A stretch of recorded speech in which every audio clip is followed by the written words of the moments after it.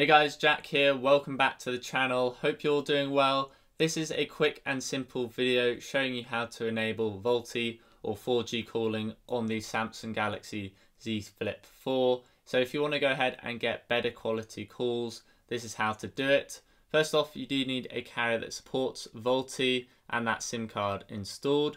Once you have all that, go ahead and log into the phone. You need to head into settings, so I'm going to pull down the quick toggles and tap the gear icon up there. Then head into connections, into mobile networks, and you should see VoLTE calls SIM1. So just go ahead and toggle that on.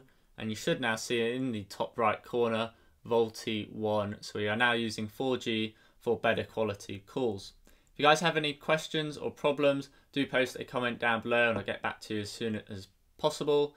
If you guys did enjoy or found this video useful, do please hit that like button down below. It really helps out the video and the channel. And if you want to see how to enable Wi-Fi calling, there's a link on the right here. And if you're new, get subscribed over here on the left for upcoming videos.